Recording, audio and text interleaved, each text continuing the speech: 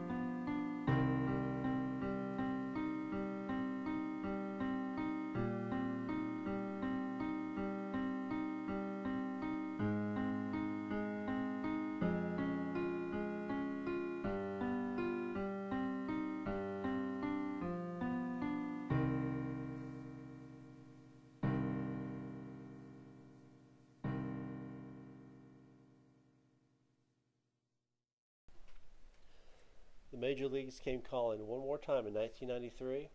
The newly formed Florida Marlins played their first spring training games here as their new home was yet to be finished down the street. The stadium went from its orange and white as the Astros colors to the teal color it is today, and that was all due to the Marlins coming here in 1993.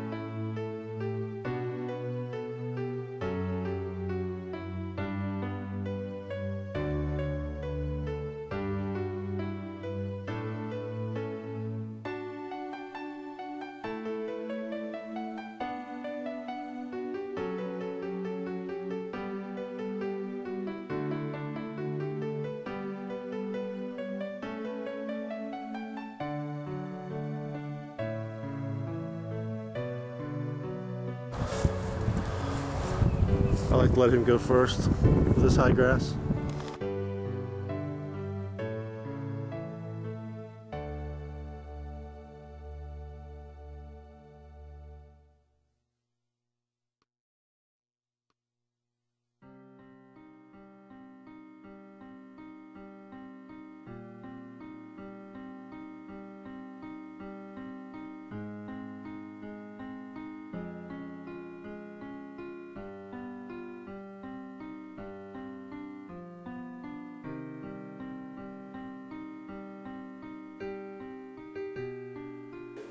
You have the honors of checking to see if the water is working. Yeah. I know it's something What you like you to do. Place your bets. Uh, my bet is yes. You failed.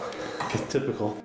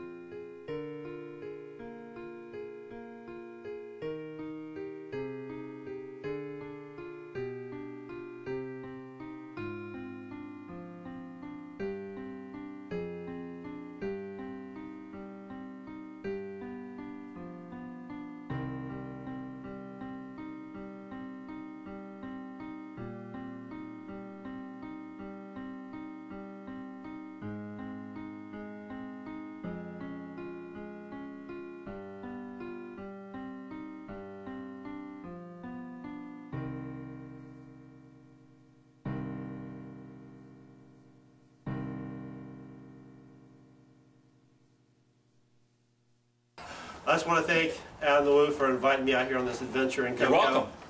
And I appreciate you uh, showing me the ropes a little bit. I got a remote. Anyway, we're in a remote location, What's by the that way. over there? These are the things he does. These are the things I'm trying to learn. By the way, go to his website at adamthewoo.com. You'll see all types of hijinks from all over the place. Thanks again to Adam, and hope you enjoy it.